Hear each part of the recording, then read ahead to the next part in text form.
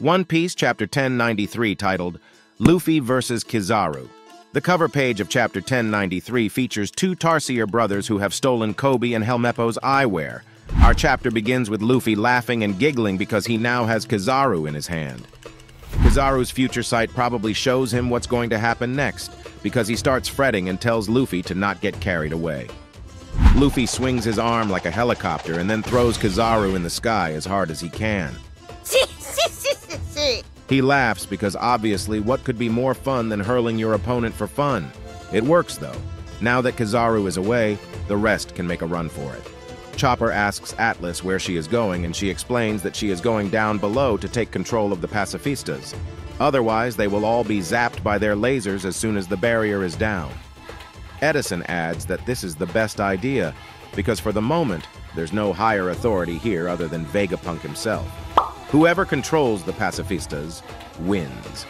Vegapunk says that he'll go with her, but Usopp argues against it. After all, the entire reason they are in such a pickle is because the world government is after his life. But Vegapunk knows what he is doing. He calls Franky and lets him know Bonnie is down below. Franky is pleased to hear that. He got worried after Kizaru kicked her straight into the barrier. But how does a grown man like Franky let a girl get kicked?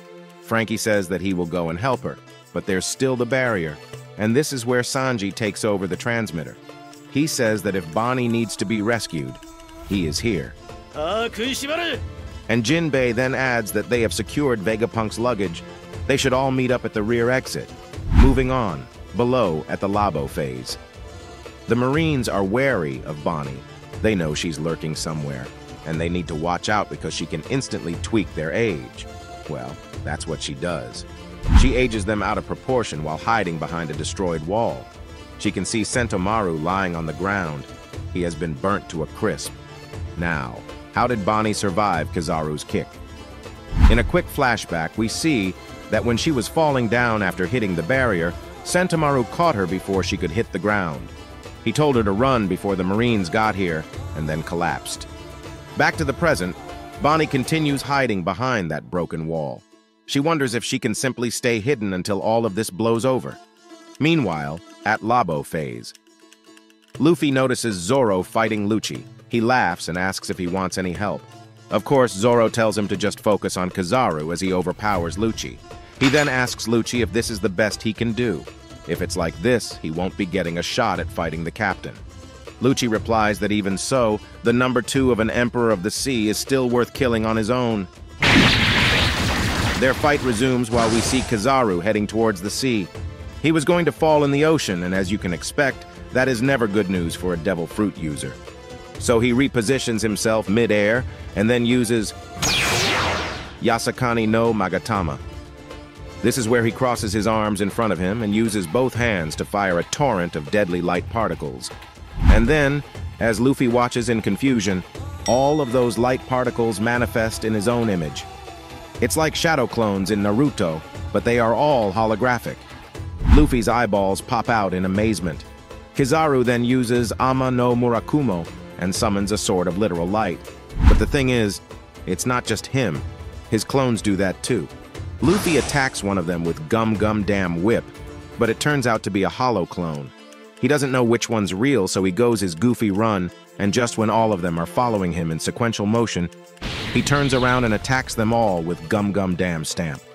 But he does not hit the real Kizaru. He thought he tricked him, but it was Kizaru who actually tricked him. There's an explosion, so Luffy looks down to see what happened, and it's Kizaru holding Usopp by his face. Luffy freaks out. Kizaru, on the other hand, wonders wherever Vegapunk could be. Now, before Luffy could help Usopp, he notices something. It's a car, Vegapunk 8 to be more precise. Sanji is hanging onto it, he wants Vegapunk to let him in too, but neither Vegapunk nor Atlas can hear him. Vegapunk is preoccupied with the thought of saving Bonnie. He says that the Marines better not touch her. He is coming to save Bonnie. In his words, he states that he won't leave that poor little child behind to die. When Luffy realizes it's Vegapunk, he freaks out once again. Since he is going away out in the open, Kizaru can easily kill him. Sure enough, Kizaru prepares to shoot him with one of his lasers. He was not going to let Vegapunk go where he is going, but Luffy wasn't going to let him fire Vegapunk either. He jumps in between the two of them and gets hit by the laser beam instead. Luffy yells, It burns! Yeah!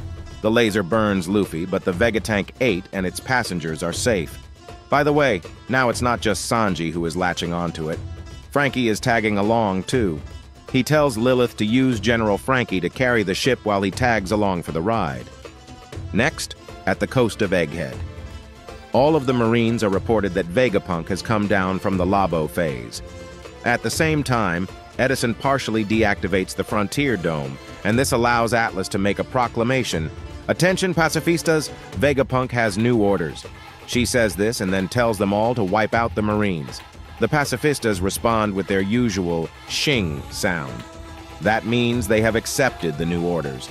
And in the final panel of this chapter, we see St. Jaygarcia Saturn with a visibly annoyed expression on his face. That's all for chapter 1093. From what we have seen so far of the Luffy versus Kizaru fight, it'll likely end in a draw. Egghead isn't supposed to be a super long arc. The Marines will have to retreat and will then transition to the Elbaf arc. Though, what do you guys think will happen next? And what do you think of this chapter? Also, what happened to the giant robot who woke up in the previous chapter? Let's continue this discussion in the comments section down below. Press like if you enjoyed the video. And if you don't want to miss out on future One Piece chapter reviews like this one as well as other intelligent One Piece content, definitely subscribe and hit that bell icon. One Piece has been phenomenal these past few months. And if Luffy can defeat an admiral on screen, that will be golden.